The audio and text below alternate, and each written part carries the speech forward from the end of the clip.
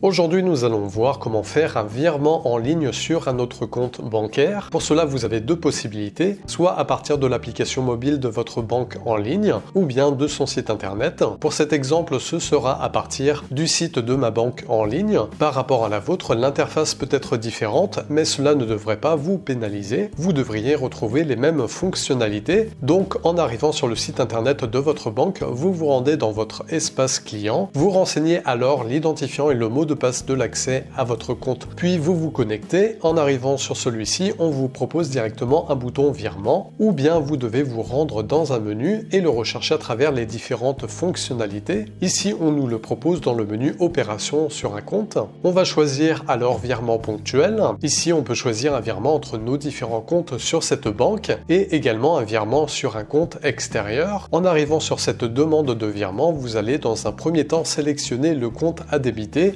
Ensuite, vous allez rentrer les coordonnées du bénéficiaire et pour les saisir, vous devez vous munir de son RIB, un relevé d'identité bancaire, le représentant. Deux types de saisie vous sont proposés, un mode RIB qui représente un long numéro sur une seule ligne. Dans celui-ci est indiqué le numéro de la banque, du guichet, du compte et d'une clé, et un mode IBAN complémenté par un numéro BIC. En France, l'IBAN commence par les lettres FR et le BIC par les initiales de la banque. En dessous, vous indiquez le montant à transférer, sa date d'exécution, vous pouvez ainsi le planifier si besoin. Plus loin, vous pouvez entrer des informations complémentaires qui pourront être affichées sur votre relevé de compte et celui du destinataire. Pour finir, vous confirmez votre ordre de virement en appuyant sur Valider. Par sécurité, selon le montant et votre banque, un message SMS vous sera envoyé. Pour confirmer l'opération, vous n'avez qu'à saisir le code contenu dans celui-ci et de valider. Une fois terminé, vous avez bien la confirmation de votre virement. Merci pour ce visionnage. Retrouvez les meilleures vidéos à travers les playlists